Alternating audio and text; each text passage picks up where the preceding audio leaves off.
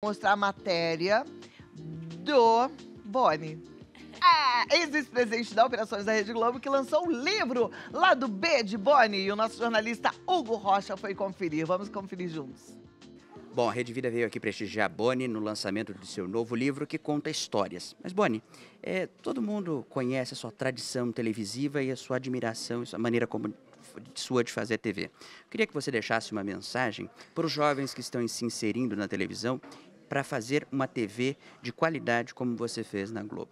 Eu acho que eu, eu, quando você fala em jovens é muito importante porque tudo que interessa à televisão é, um, é novo.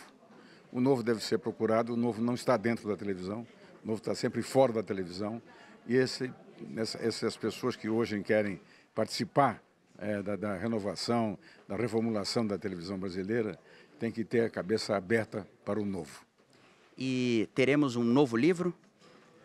Depende, se eu continuar vivendo, talvez me inspire e faça um novo, mas não é fácil não. Mais difícil do que fazer livro é assinar autógrafo. Obrigado, Bueno. Obrigado. Prazer, viu? Mauri, você que entende tanto de qualidade, está aqui prestigiando o homem que deu qualidade à TV brasileira. O que, que o Boni representa para nós que fazemos televisão? Exatamente isso que você falou. Foi o cara que conferiu qualidade à televisão brasileira. É, um, é uma pessoa que entende absolutamente tudo. Eu sou amigo do Boni há muitos anos. Né? Já o entrevistei várias vezes e ele está sempre acrescentando, sempre acrescentando, sempre acrescentando.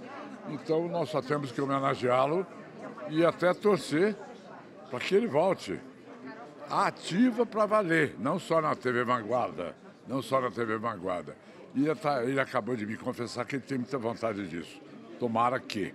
O Júlio Casares, presidente de São Paulo, veio prestigiar o Boni aqui no lançamento, lado B do Boni. Você conhece esse lado B que está no livro, essas histórias outras que ficaram fora daquele primeira, daquela primeira biografia? Então, alguma coisa eu conheço, mas muita coisa eu não conheço. Então eu vim aqui sedento para começar a ler.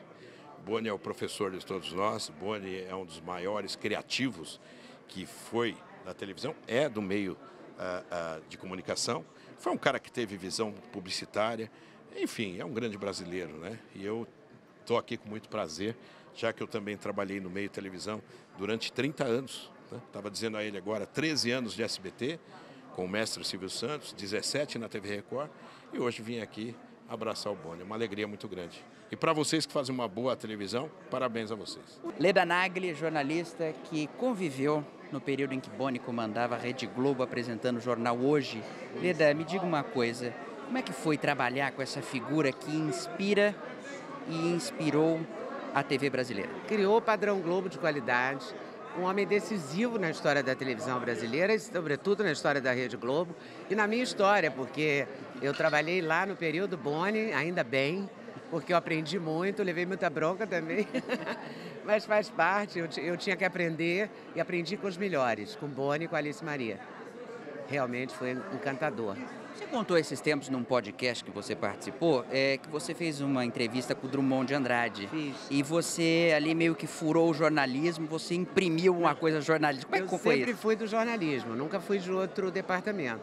Mas eu não contei para ninguém, porque eu fiquei achando que alguém podia se meter na entrevista. Aí eu fiz primeiro a entrevista e depois eu contei, olha, eu entrevistei o Drummond, porque é uma raridade, o Drummond não falava quase, quase mesmo, assim.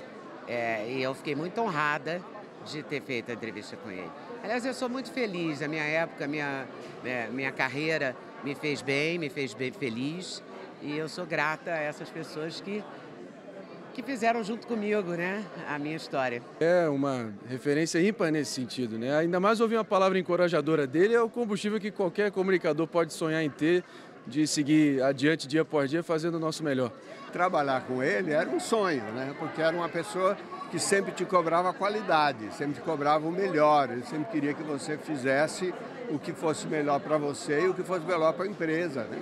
E o que fosse melhor principalmente para o público, porque ele sempre brigava para que tivesse um produto de muita qualidade. Né? Então eu acho que isso é a maior marca que ele deixou em todos nós que trabalhamos lá. Né? Tanto os atores, quanto os diretores, quanto os autores, que a gente queria era agradar o chefe. Agradar não, não em termos de não em termos de você ganhar mais ou não, mas simplesmente por ter o aplauso dele. porque a gente confiava no bom gosto dele. E a gente sabia que quando a coisa estava boa para ele, estava boa para o público. Porque ele tinha uma visão popular e uma visão também de qualidade única, entendeu? Ele conseguia juntar as duas coisas. Realmente, é um grande mestre. Gostei dessa fala. Ele tinha de fato uma visão popular e uma visão de qualidade únicas e ele sempre foi dono de um tremendo bom gosto, né? Não à toa a gente admira tanto tudo que ficava sob sua supervisão, direção, orientação. Maravilha, parabéns pro, pro, pro Boni, parabéns também pro Hugo Rocha pela entrevista maravilhosa. Essas pessoas incríveis que ele entrevistou. Deu saudade de olhar Leda Nagler, né? Eu sou do tempo em que ela apresentava o jornal, apresentava a parte da cultura e era demais. Que gostoso ver todas essas pessoas.